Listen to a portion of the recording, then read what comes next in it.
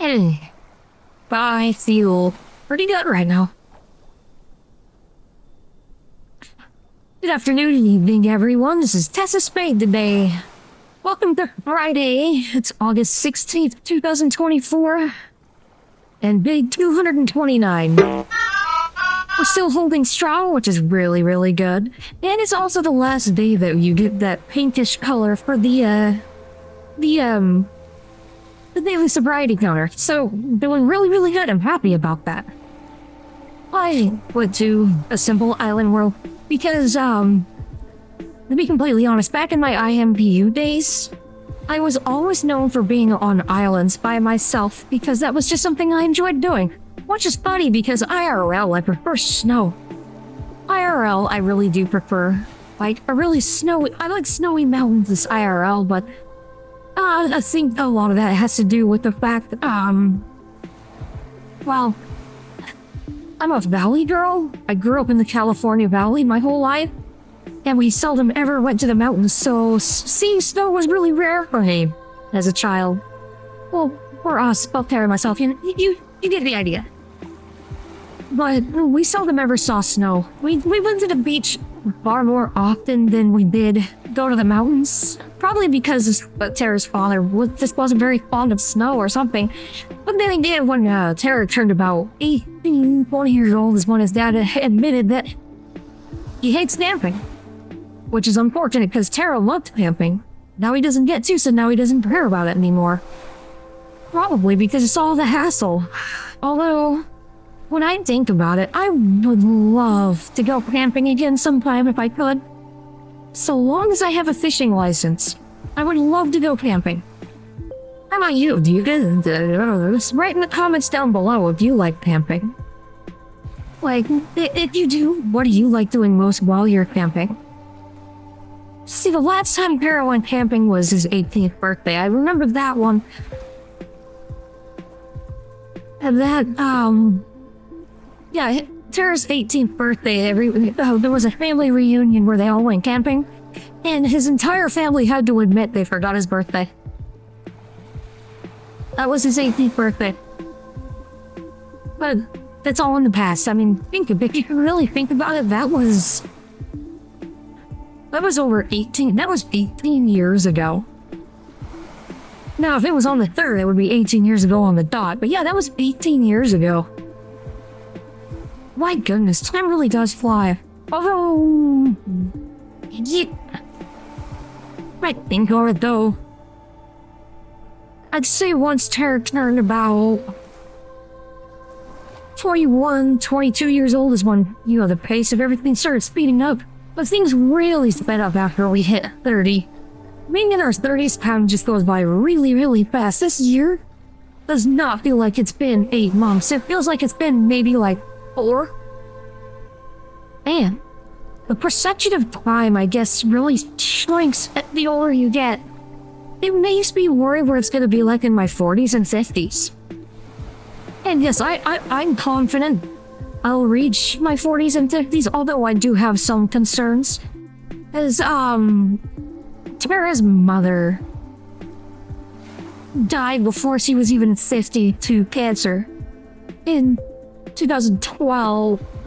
So it does leave some concern for me that I know for a fact that genetically on my mother's on Tara's side of the family, cancer is very much genetically on his mother's side.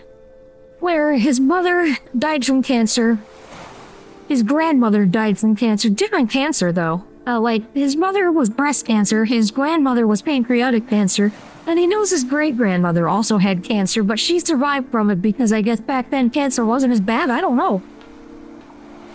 And she lived to be really old, too. She passed away... I don't remember when she passed away because she moved to South Carolina at that time. She passed away, I want to say she was like 95, 96? Is where I want to say. So she lived for a very long time, even after having had cancer. I think in her 40s, so... Yeah, she, she really lasted. But unfortunately, with his mother and grandmother, they died of cancer. And it's unfortunate because uh, Tara's mother was freaking awesome. Lilia barely got to know her. And they got along really, really well. Which was awesome. Of course, um, Lilia's first major memory uh, in person meeting Tara's mom was Lilia was um very sick from drinking too much on Tara's brother's birthday, and the first thing she remembers is Tara's mom walking into the room and be like, "Please eat this. It's a grilled cheese sandwich. You'll feel better." That was her first IRL memory of Tara's mother. It was it was nice. It was it was very pleasant. But the first memories Lilia has of Tara's mom was actually further back because, as you know, Tara and Lilia met playing Animal Crossing City Folk. Well, Lilia also played with Tara's mother playing Animal Crossing because that was hers and his mother's favorite pastime when not watching, uh, they used to watch the show Eureka on sci-fi. But when they weren't watching Eureka, they'd play Animal Crossing City Folk just to have fun. And all the big spots for the fossils they called Diggy Bigs. Hmm? But yes, they would get on Wii Speak, and they'd get on, they'd get on with Lilia. This was in 2009. And early, and a little bit of 2010, just a little bit, oh. Because, um, it was 2010. I want to say it was around October 2010 is one Tara moved to, um, move out kind of thing. Disability kind of stuff, you know how it goes. It's very difficult to move places, so you have to find somewhere horrible. But, yeah, they, they, they just spent hours upon hours just playing Animal Crossing City Folk.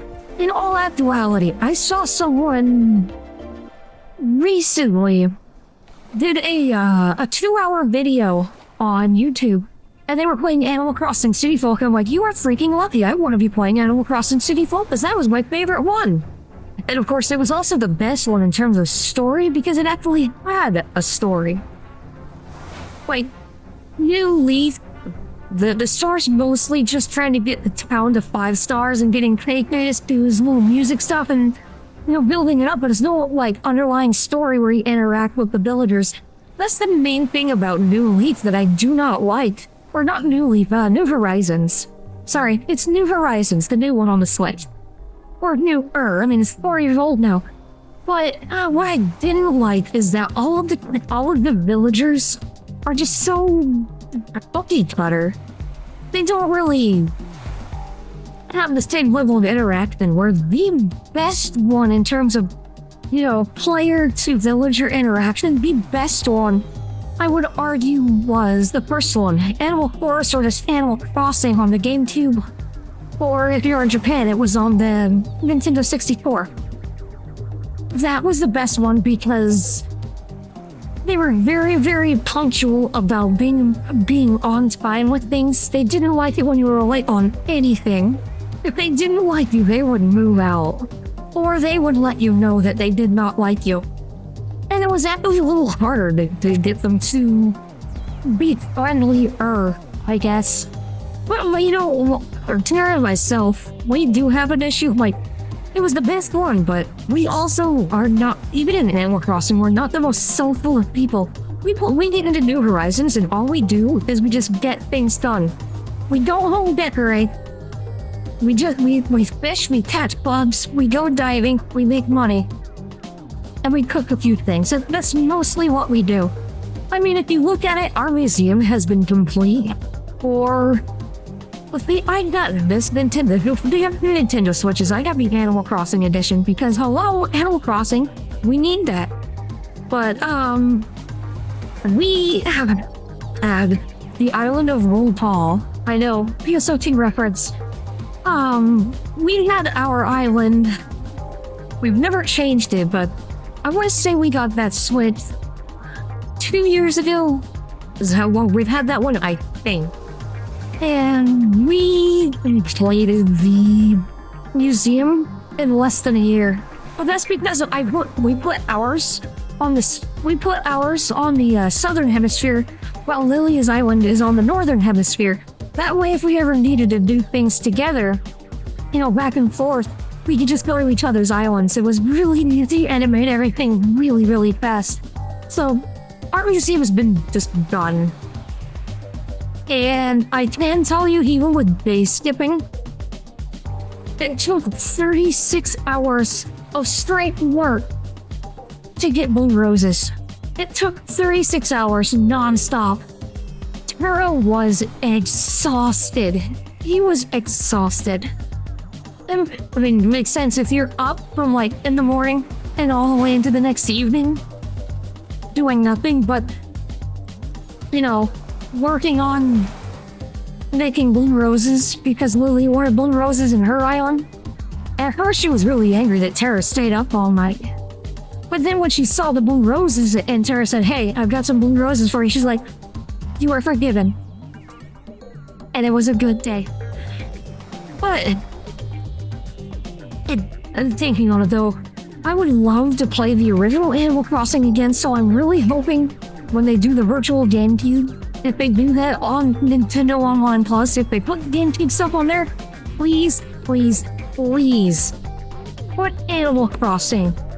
Just, just plain old Animal Crossing, put that on your virtual, because that was the best one. But then another one we really want to play again is just City Folk, because this, the, the story arc that you can slowly unlock by per by completing certain tasks and interacting with the right people on the right days. It was a story arc between the uh, the Able sisters, like uh, Mabel, Sable, mm, the other one. I'm trying to remember. Uh, it, it eludes me, but it's a story arc between the Able sisters and even other major villagers like Tom Nook gets involved, Blathers gets involved. Uh, I think Copper got involved too. Back when they had Copper in the and, and, and, again, Sable was a really good one because you had you could get your unbreakable and your your special shovels, your special axes and stuff like that. And like the axe, you had to get it by throwing your axe into a wishing well. And you had to hope that she that she was nice and stuff like that. And then of course the silver shovel you can only get by getting into um Resetti's little um little office place inside this, the main city. It was so much fun, and I really do miss that function. Is I, I really do feel like New Horizons just missing a whole bunch of things. Like they just wrapped tons and tons of content for New Horizons just to focus on just the crafting, and even then, there's not a whole lot of stuff like this crafting and recipes. But in terms of furniture, it, it feels like there has the smallest amount of furniture since the first game. Like, since after the first game, the amount of furniture you get is lower than all the other games. And it's weird. I also miss the Golden series, like being able to customize your house with the Gold series if you did like real- oh, I'm trying to remember, I think that one you needed to, um, get really high score with Happy Home. But yeah, being able to, all those things was so much fun, and I do I do miss City Folk. It, it was it was my favorite one. Of course, in New Leaf on the 3DS is when they introduced diving, but honestly, I prefer the I do prefer the diving in New Horizons compared to. Oh dear, I am losing tracking a little bit. I I do prefer the diving in New Horizons because it's just so much more the diving, obviously, they added more and more and more. But one function I thought was fun with the new Leaf is that if it was cold out and you were in the water long enough, you get out. When you get out of the water, you start shivering. But if you stayed still too long in the water, there was a high likelihood that you would get stung by jellyfish. So, so that function was a little bit more fun. It's not like you'd like suffer or anything. You just, you know, swerve around in the water until you're okay. Man. Oh, those were fun times. Lily and I had so much fun with Tara's mother. It was so fun. But, oh, right. Before, before we get going, I we, we, we asked Buttercup. She didn't say there was anything, you know, noteworthy for school, so... Nothing really there. They're home. They're, they had a huge fruit salad. And we're just we're just getting ready to start making supper here pretty soon, so I I don't have a whole lot I can talk about other than reminiscing on old games. Old games just there was more The, the big difference you can tell with old games compared to newer games is that in the older games there was a lot more passion than the developers in making those titles. Now it's obviously it's much more oh, it's well it's gotten more and more corporatized ever since the resurgence in the in the late 80s. But that, that's enough of that. That's a whole different topic. We don't need to go on that because I've been rambling this entire time. Sorry. But I hope everyone is enjoying their Friday because, my goodness, it is a scorcher out. It, it is it is very, very hot outside right now. Like it's it's only 106 today, but it feels like 112. You step outside and that sun just started beating on you as hard as it can or something. It is not good. And tomorrow and Sunday are going to be just oh so much worse. So we're staying inside today. We're staying inside this weekend. We're we're not going anywhere. But anyway, again, I hope you enjoy the rest of your Friday. This is Tessa Spade on your Friday, August 16th, 2024. Day 229. We will see all of you tomorrow on Saturday. So long, everyone.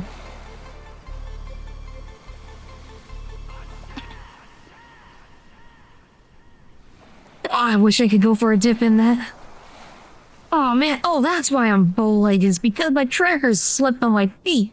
It.